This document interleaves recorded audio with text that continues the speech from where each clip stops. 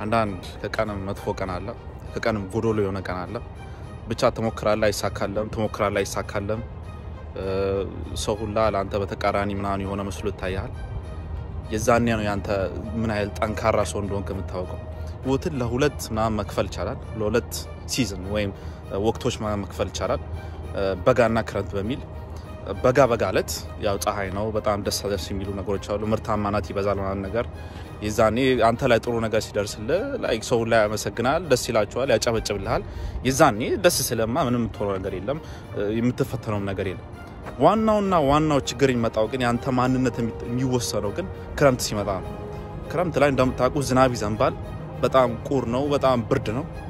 የዛኔ የዛኔ ለምሳሌ አሁን ብዙ ችግር ሲገጥምብህ ብዙ መከራ ሲበዛብህ የሆነ ነገር ሞክረህ ሞክረህ አልሳካልህ ሲል ምንድን ነው የምታደርገው? የዛን ነው የአንተ የዓላማ ጽናት የሚታወቀው። እዚህ ምድር ላይ እስካለ ድረስ እርግጠኛ ሆኜ የምነግርህ ነገር ችግር ይገጥመሃል። ዳስ ምንም የምታመልጠው ነገር አለ። በጋና ክረምት ከሀገር ሀገር የትም ሀገር የትም ሀገር ሄድ የሚቀር ነገር አለ።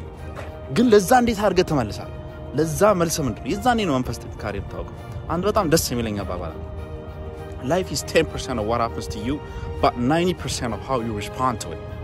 10 percent ብቻ ለአንተ አንተ ላይ የሚከሰተው ነገር ይከሰታል። ለዛ ግን እንዴት አድርገህ ምላሽ ትሰጣለህ የሚለው 90 percent ያህል ትልቁን ቦታ ይዛል ማለት ነው። አሁን 90 percent ያህል ትልቁን ቦታ ከያዘ አንተ እንዴት አድርገህ ነው መልስ የምትሰጠው ለዛ ነገር? ገብቶሃል የምልህ ችግር ከሆነ መግጠም አይቀርም። የትም ሄድክ የትም የሚቀር ነገር አይደለም። ችግር ስገጥም ግን ለዛ እንዴት አድርገህ ነው መልስ የምትሰጠው? እንደ ሌሎቹ ሰዎች ታረክሳለህ፣ ትተኛለህ ወይስ ይሄ ቦታ አያልፍልኝም እኔ ላይ ችግር ይበዛብኛል ብለህ በቃ ትቀውጠዋለህ? በቃ ምን ልሁ ምን ትሆናለህ? ምንድን ነው የምታደርገው?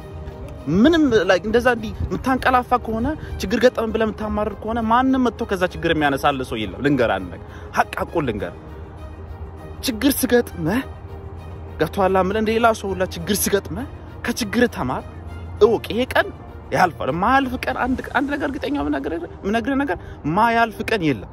ይሄ ቀን ያልፋል። ገብቶሃል ምን ከቻልክ ከዛ ተማርበት። ካለፈ በኋላ ታመሰግናለህ ፈጣሪ